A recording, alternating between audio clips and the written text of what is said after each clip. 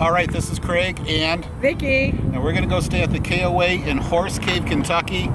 Give you our evaluation of this KOA, and we're gonna do Kentucky stuff for the next couple of days. So let's go check in. Let's go.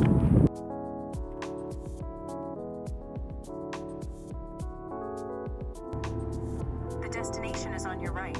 Horse Cave Koa. And the pool's still open, Craig.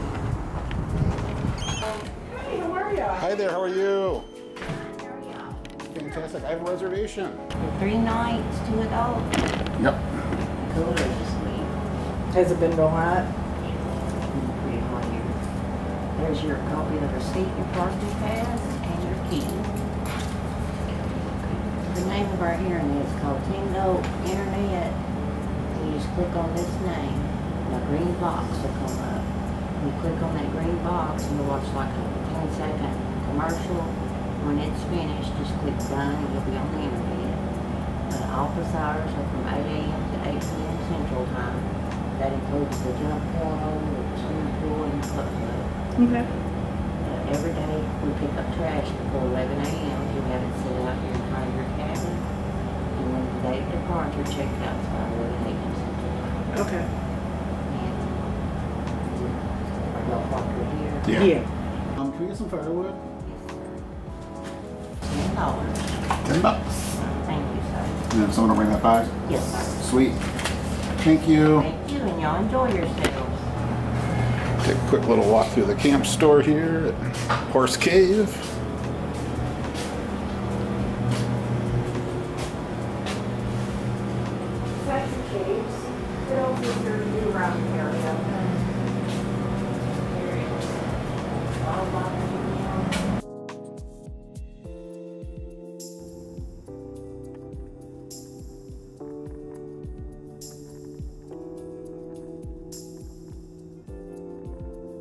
Vicki, take us on a tour of our camping cabin at the Horse Cave, KOA in Horse Cave, Kentucky. To begin with, this is my view out the front. It's expressway, but my view in oh, we got a hole in the screen. One light works. We have AC putting a chunk of plywood where a window used to be, but at least there's AC. Whoa, whoa, whoa, whoa, whoa, whoa, yeah, we are in the place to be. Yeah, yeah, yeah, yeah, yeah,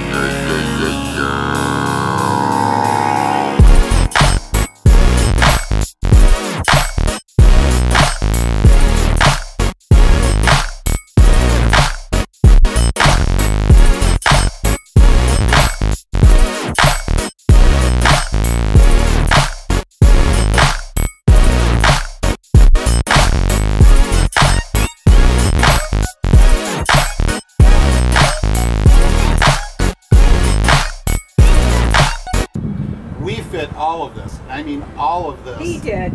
in this Pontiac. So much stuff. This is the pool at the Horse Cave KOA in Horse Cave, Kentucky.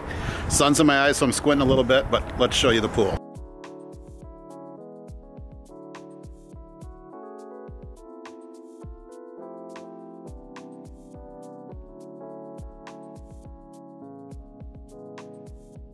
First impressions of the KOA in Horse Cave, Kentucky.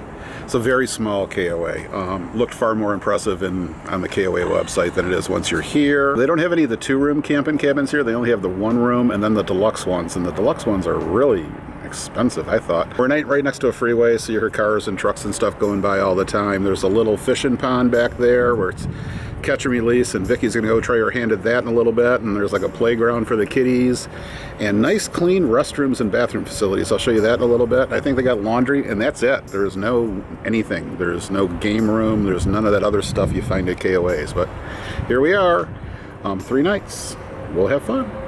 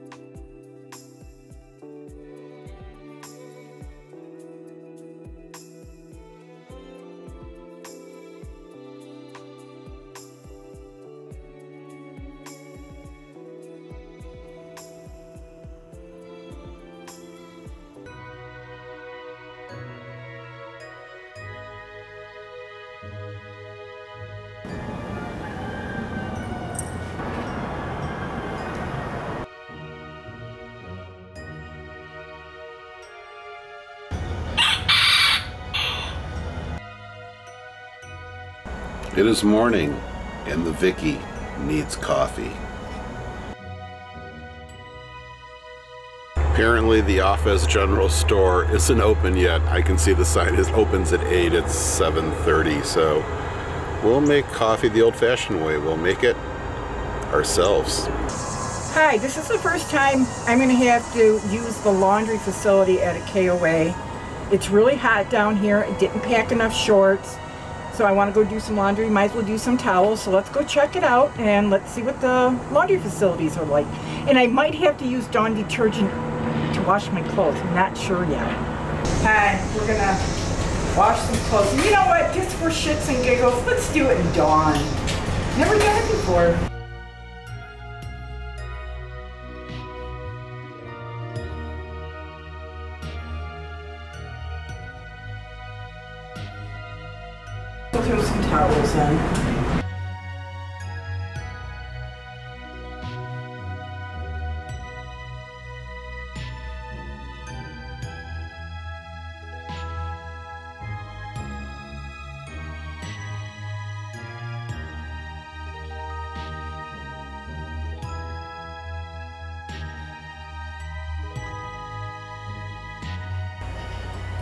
Mmm, smells fruity.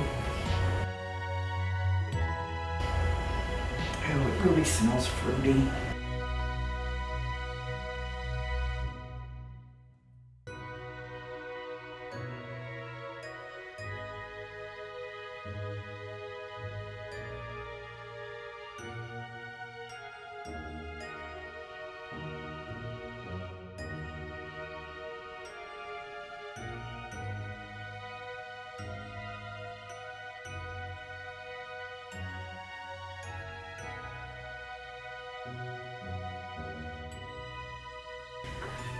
So as you can see, the ladies' restrooms are just like the men's restrooms. Been clean, hot showers.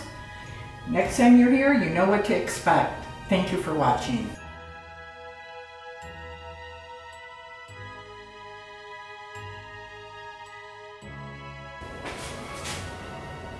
This is the men's room at the Horse Cave KOA. The only one they have. Many KOAs have more than one. They have multiple shower facilities around the property. There's only one here. But it's really nice. It's not bad. It's kept clean. It, you don't feel like you're in some nasty shared public space, though you are in a shared public space. Um, the showers are good. The water is hot. Looks like it's been remodeled recently. Nice light fixtures. Yay, Horse Cave KOA. Thumbs up.